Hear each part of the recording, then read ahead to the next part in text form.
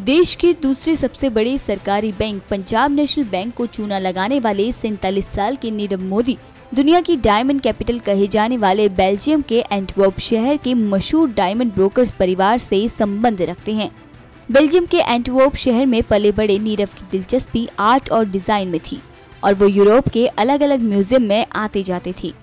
नीरव मोदी का कहना है कि उनकी माँ उन्हें पेरिस के मशहूर लोअर म्यूज़ियम में लेकर जाती थी। इस म्यूज़ियम में दुनिया भर की शानदार पेंटिंग्स लगाई जाती थी। नीरव मोदी को पेंटिंग्स का शौक यहीं से पैदा हुआ।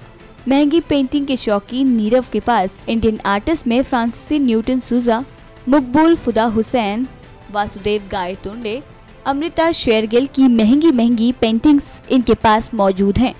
अगर नए आर्टिस्ट की बात करें तो भारती खेर और सुबोध गुप्ता की पेंटिंग भी नीरव मोदी के पास है। एनएमएफ न्यूज़ की रिपोर्ट।